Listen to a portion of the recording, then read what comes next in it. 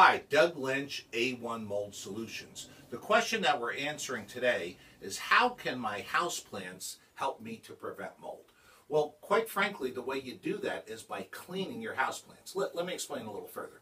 A lot of our houseplants are somewhat tropical, and if they were out in the jungle or out in the forest growing, they'd be in moist, damp soil. The leaves would fall off occasionally. Mold would break the leaves down into compost and back into soil, and that's a good thing. However, the same thing is happening in our home with the same plants. So you have to take the time once in a while to take the dead leaves out of the bottom, scrape that little bit of earth off the top, re-till it a little bit in the pot to prevent that mold growth from occurring. Because when you have mold growth, you have mold grows by making spores. Those mold spores from your houseplant can be going all over the place. By cleaning your houseplants once in a while will help you prevent mold growth in your home.